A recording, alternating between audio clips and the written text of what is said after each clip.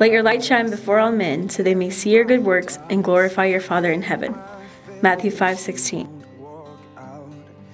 Hello, my name is Jordan Greene.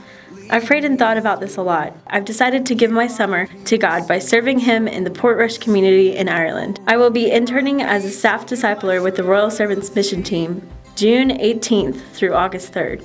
Royal Servants offers teens life changing experiences that expose them to the world's burning need for a Savior, equips them to meet that need, and sends them home to be actively involved in their church. I am currently studying youth ministry at CIU, and this will be an opportunity for me to grow as a teacher and learn to better disciple others. Most of the people in the area where I will be going identify themselves as Roman Catholic, but there is a great need for the light of Christ to be shared with the young people in this part of the world. I feel a burden on my heart for these people, but I need your help.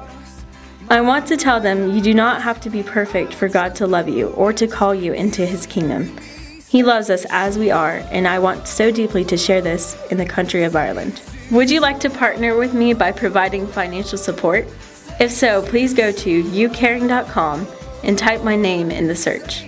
Or you can email me if you would like to send your donation by mail at jordan.greene at mailbox.ciu.edu. I'm looking forward to seeing how God will work in and through me to fulfill His purpose this summer. Thank you for your prayers, your time, and your support.